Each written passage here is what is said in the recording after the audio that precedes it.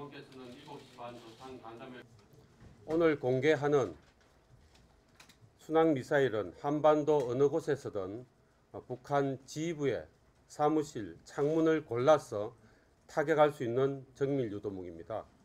유사시에 우리나라의 자유민주주의 체제를 위협하는 적 지휘부의 활동을 제약할 수 있는 치명적 파괴력을 갖고 있습니다.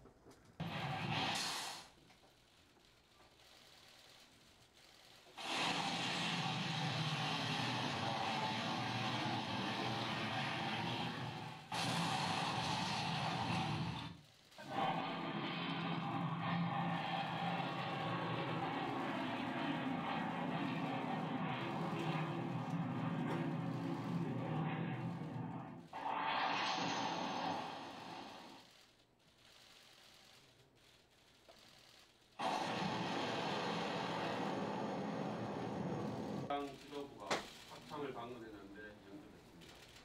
시간이 나와서 말씀드리는데요.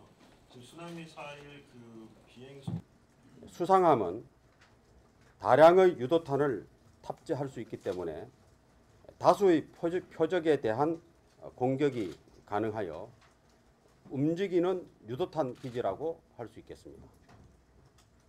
또한 잠수함은 고도의 은밀성을 바탕으로 적의 턱밑까지 접근하여 발사할 수 있기 때문에 작전 반응 시간을 단축시킬 수 있는 장점을 가지고 있습니다.